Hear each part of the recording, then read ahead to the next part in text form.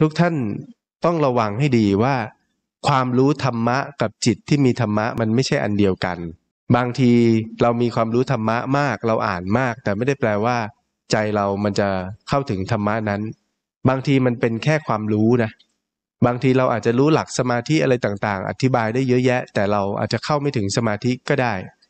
หรือเราพูดเรื่องความเมตตาต่างๆ ได้ แต่เราตัวเราเองเราเข้าไม่ถึงความเมตตาก็ก็ได้ หรือเรารู้หลักธรรมชั้นลึก เราอาจจะเรียนจบเรียนสูงมาเยอะอ่านหนังสือมาเยอะนะครับ แต่นั่นไม่ใช่ตัวจิตที่เป็นเป็นธรรมะ มันเป็นแค่ข้อมูล มันเป็นแค่ข้อมูลความรู้ ถ้าเอาไปสอบอะเราสอบได้ แต่ว่าสภาวะธรรมจริงมันมันเป็นสิ่งที่จับต้องไม่ได้ มันเป็นสิ่งต้องบ่มเพาะฝึกฝนนะครับ เพราะฉะนั้นก็ให้ดูแบบนี้ ในสมาธิอะไรก็แล้วแต่ แต่ถ้าผลมันไม่มันไม่ออกมาในชีวิตประจำวันเลย อันนั้นก็แปลว่าการปฏิบัติยังไม่ค่อยได้ผล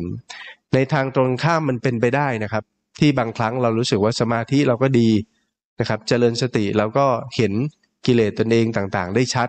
แต่เรานิสัยเลวร้ายกว่าเดิม คุณเคยเห็นคนแบบนี้ไหมที่รู้สึกว่าโอ้โหตัวเองได้สมาธิเยอะแยะเลย มีความรู้ทางธรรมะเยอะแยะเลย แต่อุปนิสัย ให้เราไปอยู่ใกล้ๆนี่เรายังไม่อยากอยู่เลยบางที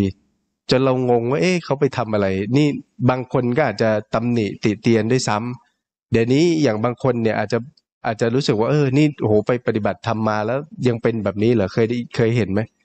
ที่คนก็พูดกัน เนี่ยครับ อันเนี้ยมันแปลว่าหลงไปกับความรู้ธรรมะ